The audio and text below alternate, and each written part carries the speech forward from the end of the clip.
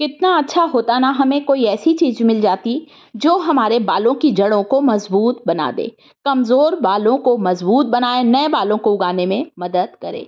गंजे के सिर पर भी बाल उगा दे। जी हाँ दोस्तों, आपकी हेयर ग्रोथ को दुगनी कर दे। तो बस, आज मैं आपके लिए वही रेमेडी लेकर आई हूँ। आपके स्कैल्प को हेल्दी बनाएगी और जब बालों की जड़ें स्ट्रांग होंगी तो अपने आप आपका हेयर फॉल बालों का झड़ना, बालों का टूटना काफ़ी हद तक रुक जाएगा।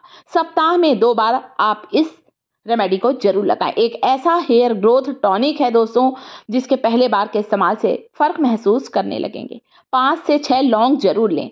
लौंग हमारे स्कैल्प के किसी भी तरह के इन्फेक्शन को, संक्रमण को दूर करती है। डेंड्रफ की समस्या दूर करती है, बालों में चमक लाती है। अगली चीज़ फ्लैक्सीड अलसी के ये बीज इतने ताकतवर बीज होते हैं दोस्तों, जिसका इस्तेमाल आप खाने में भी करें और बालों में लगाने में भी करें। एक चम्मच भुनी हुई अलसी को हमें रोज खाना चाहिए। खा के देखें पंद्रह दिन, चेहरे पर चमक आएगी, स्किन में ग्लो आएगा, जल्दी झुर्रियाँ नहीं पड़ेंगी, बालों में चमक आएगी, बालों का झड़ना बंद होगा। अगली चीज़ जो कि यहाँ पर इस्तेमाल करूँगी फ्लैक्स सीड के अलावा वो है मेरा फेनुग्रिक सीड जिसे हम लोग मेथी के बीज भी कहते हैं। प्रोटीन, विटामिन से भरपूर होते हैं मेथी के बीज। साथ ही लेंगे हम दो चम्मच राइस कोई सा भी चावल लें, मोटा चावल, बारीक चावल। जिस भी राइस का इस्तेमाल करते हैं, चावल का पानी। चावल में कुछ ऐसे एमिनो एसिड होते हैं राइस वाटर में, जो बालों को सिल्की शाइनी बालों को मज़बूत बनाते हैं। साथ ही साथ हमारी हेयर ग्रोथ को फास्ट करेंगे। मैंने चार इतने पावरफुल इंग्रेडिएंट का इस्तेमाल किया है। दो चम्मच flaxseed omega three fatty acid omega six fatty acid होता है अलसी के इन बीजों में। पोषक तत्वों का भंडार है दोस्तों, इतने सारा इसमें न्यूट्रिएंट्स होते हैं। साथ ही मेथी के बीज इनमें भरपूर मात्रा में पोटेशियम होता है। पोटेशियम होने के कारण मेथी के बीजों का application premature grey hair की समस्या को दूर करता है। बाल जल्दी सफ़ेद नहीं होते, बालों में लंबे समय तक कालापन बना रहता है। पाँच से छः लौंग ली है, एक बड़ा चम्मच चावल लिया है, राइस। ताकि चावल जो है, आपके बालों के लिए, वैसे भी आपने सुना होगा, जो राइस है ना, हमारे स्किन के लिए और हमारे बाल, दोनों के लिए बहुत बेनिफिशियल होता है।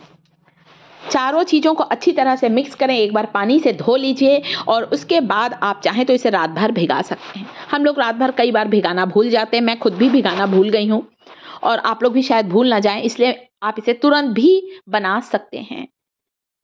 हेयर वॉश करने से आधा घंटा पहले आपको इस हेयर टॉनिक को लगाना। आप अभी देखिएगा दोस्तों, ये इतना बढ़िया बनता है और इतना अच्छा इसका रिज़ल्ट मिलता है कि आप खुश हो जाएँगे दोस्तों कि मैंने बहुत अच्छी रेमेडी शेयर की है।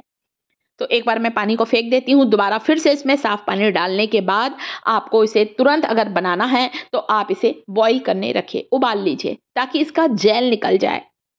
कढ़ाई में डाल दिया है, एक गिलास के करीब पानी डाला, छोटे गिलास भर के आप कह सकते हैं, एक कप के करीब पानी। ज़रूरत पड़ेगी थोड़ा पानी मैं और भी डालूँगी, ताकि अच्छी तरह से ये बॉईल हो सके। कम से कम 10 से 12 मिनट तक स्लो फ्लेम पर उबालना है, ताकि मेथी का जेल निकल जाए, चावल राइस वाटर का स्टार्च निकल जाए और साथ ही साथ फ्लैक्सीड अलसी के बीज बहुत ज़्यादा फ़ायदेमंद होते हैं दोस्तों। हमें कई बीमारियों से बचाता है अलसी का सेवन। उसी तरह से हमारे बालों की ग्रोथ को फास्ट करता है।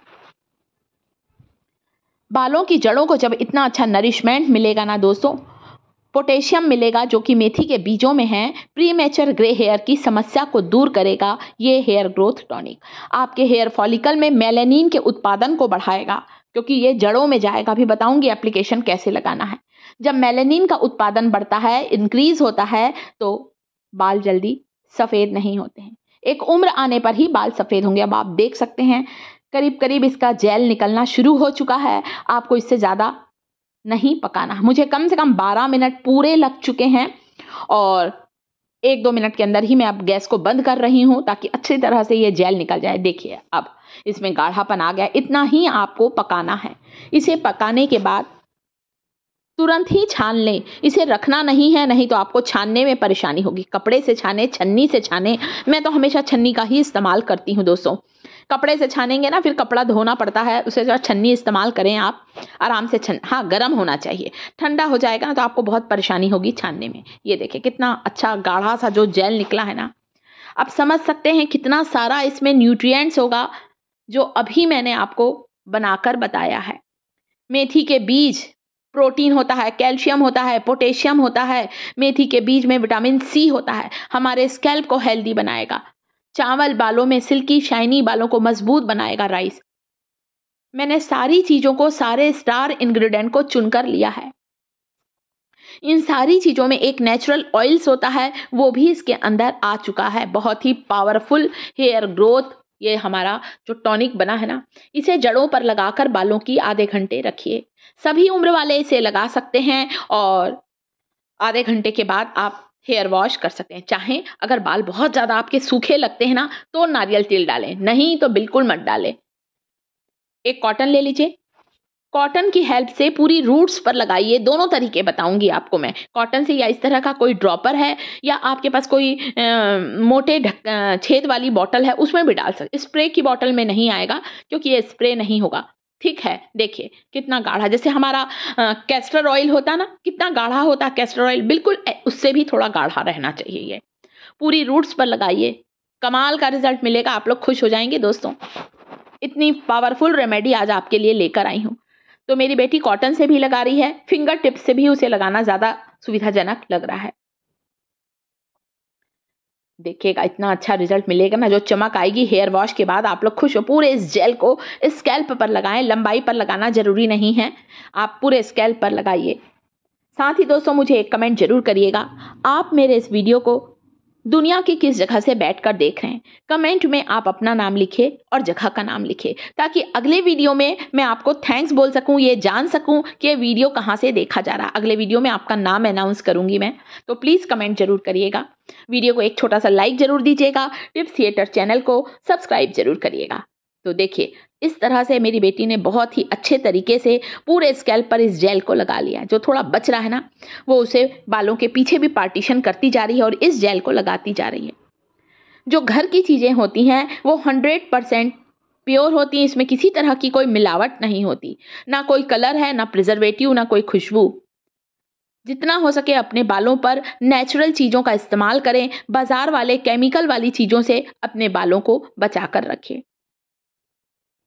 खूब अच्छी तरह से लगाने के बाद आधे घंटे अपने बालों को इसे इसमें लगा, बालों में लगा के रखें, फिर हेयर वॉश करिए।